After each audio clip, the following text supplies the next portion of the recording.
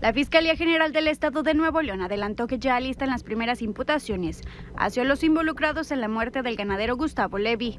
El vicefiscal Luis Enrique Orozco detalló para Telediario Nocturno que la investigación avanza rápido. Ha sido bastante eh, rápida y dinámica la investigación.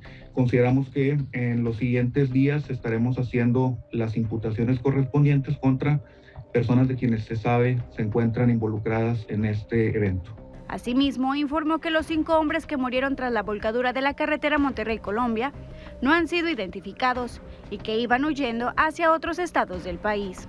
Sabemos de manera informal que se dirigían hacia diversos estados de la República, es decir, eh, probablemente huían del estado de Nuevo León cuando eh, sufrieron este percance que finalmente les provocó la muerte. Orozco aseguró que los hechos no son equiparables a los de don Alejo Garza, pues a diferencia de Levi, don Alejo fue extorsionado por un grupo criminal y tras un enfrentamiento que dejó a cuatro sicarios muertos, él también perdió la vida.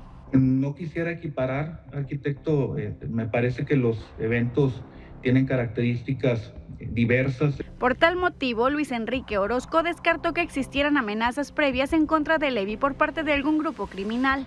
Un grupo de personas irrumpió en, en este rancho en días previos a la llegada del señor Levi.